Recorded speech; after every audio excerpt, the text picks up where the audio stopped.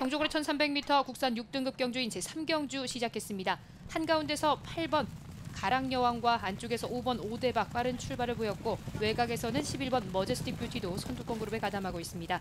8번 가랑여왕과 바깥쪽 11번 머제스틱 뷰티 두 마리가 앞서 있고 안쪽에서는 5번 오대박과 1번 댄싱 블레이즈 바깥쪽에 3번 태권 붕붕도 선두권 그룹에 가담하고 있습니다.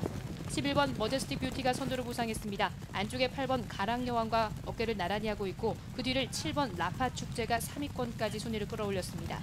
11번 머제스틱 뷰티와 8번 가랑여왕 그 뒤를 바짝 뒤쫓고 있는 7번 라파 축제까지 선두 그룹 형성하고 있습니다. 세 마리 뒤쪽에서 약 3마신 뒤쪽 5번 오대박 안쪽에서 1번 댄싱 블레이즈가 각각 4, 5위권 자리하고 있습니다.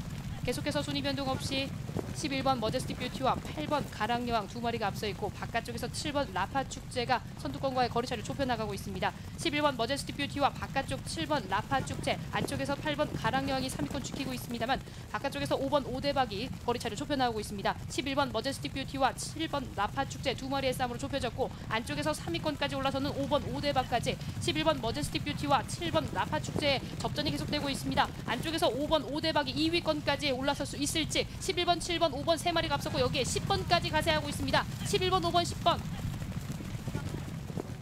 경주거리 1300m 국산 6등급 경주였던 제3경주 11번 머제스틱 뷰티 결국 결승선을 가장 먼저 통과하게 됐습니다.